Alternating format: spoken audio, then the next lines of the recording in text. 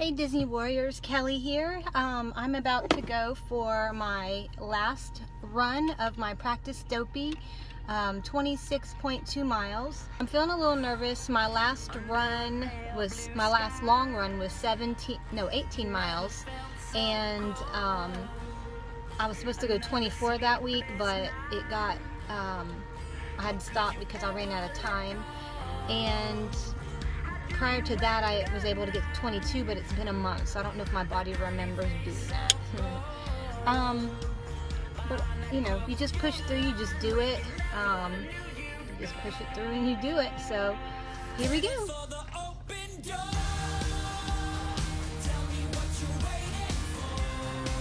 Alright guys, this is it.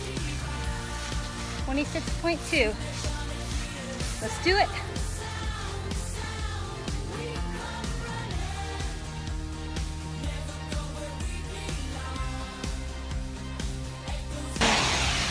Starting to sprinkle a bit. Kind of feels good though. Um, so I'm okay with that.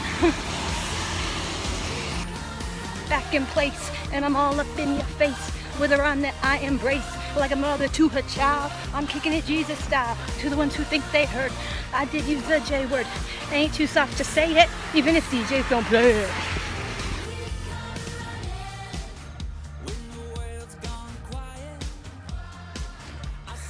Hey guys, I'm at the five mile mark. So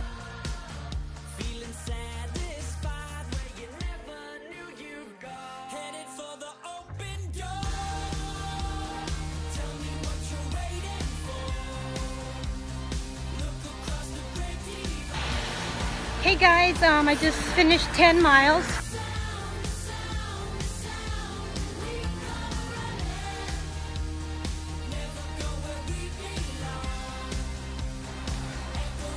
Alright guys, um, mile 15. My legs are getting a little tired. I need to stop and stretch in a few moments here.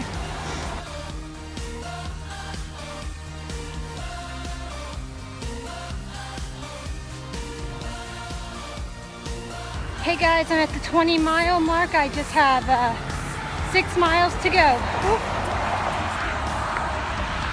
I just got one mile left and that's it. Yay!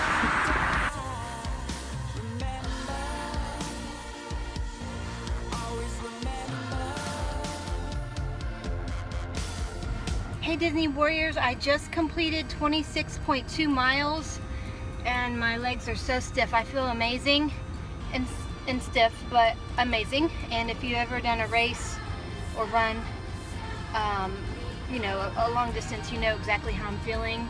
You just feel accomplished, you feel good, and uh, thanking him for the ability to run and train and have energy to do this because I know I couldn't have done it uh, without the Lord's help and, and strength and power. So it all goes back to Him. That's why I'm doing this to glorify Him with my body. And uh, I'm just really thankful and tired and a little hungry. Uh, a, massage might be nice. Uh, some stretching, maybe some ice. Uh, but anyways, it's done. We did the 48.6 um, the past four days. I know I can do it now. Now we just Disney World and run it.